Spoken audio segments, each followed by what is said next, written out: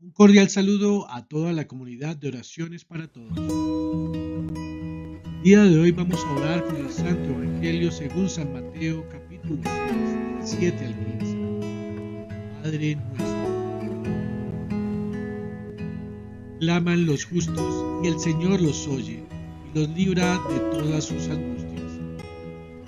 Lectura del Santo Evangelio. En aquel tiempo dijo Jesús a sus cuando recéis, no uséis muchas palabras, como los gentiles, que se imaginan que por hablar mucho les harán caso. No seáis como ellos, pues vuestro Padre sabe lo que os hace falta antes de que lo pidáis. Vosotros orad así. Padre nuestro, estás en el cielo, santificado sea tu nombre. Venga a nosotros tu reino.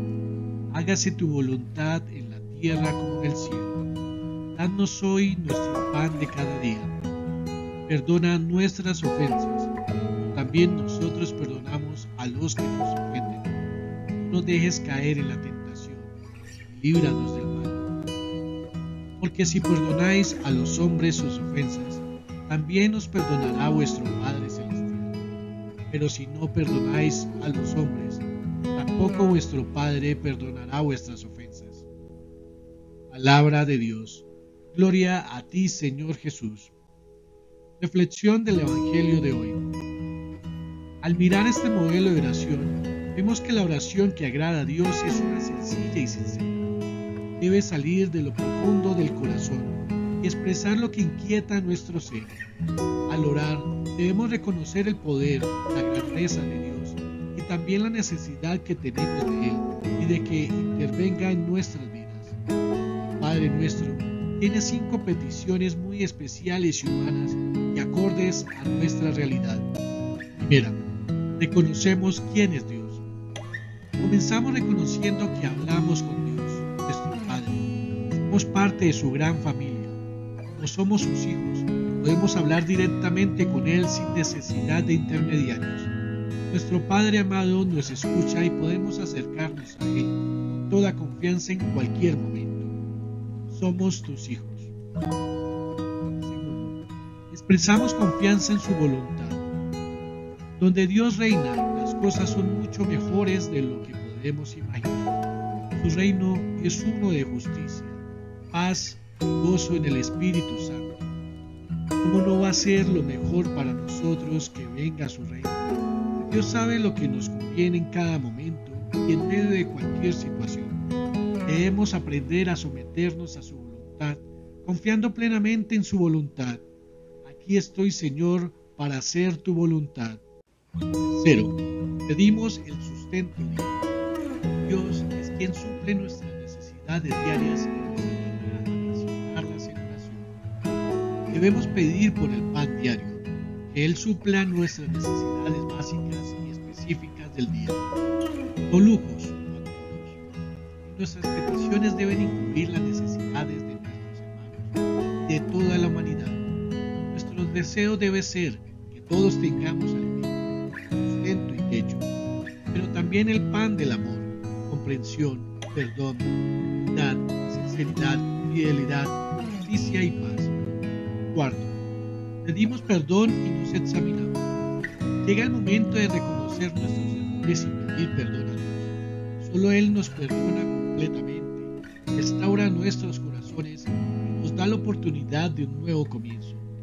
Es precisamente en este momento y con esta que debemos examinar nuestros corazones para ver cuál ha sido nuestra disposición a perdonar a aquellos que han cometido faltas contra nosotros. ¿Les hemos perdonado? Hemos mostrado la misma misericordia y gracia que Dios ha tenido para con nosotros. Lo prometemos, Señor Pedimos su protección y victoria. Somos humanos y podemos ser débiles, pero Dios no nos deja solos en nuestra lucha frente a las tentaciones y el mal. Él está con nosotros y Él es más poderoso que el maligno.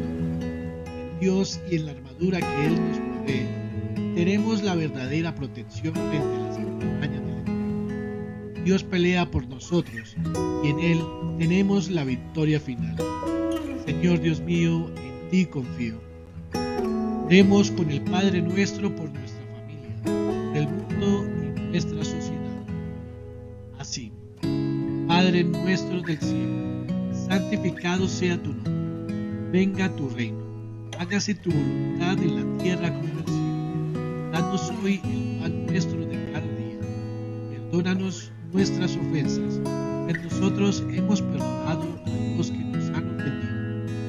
dejes caer en la tentación, sino líbranos del maligno. Porque si perdonáis a los demás sus culpas, también vuestro Padre del cielo os perdonará a vosotros. Pero si no perdonáis a los demás, tampoco vuestro Padre.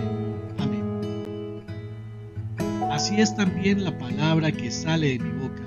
No volverá a mí vacía, sino que hará lo que yo deseo, cumplirá con mis propósitos.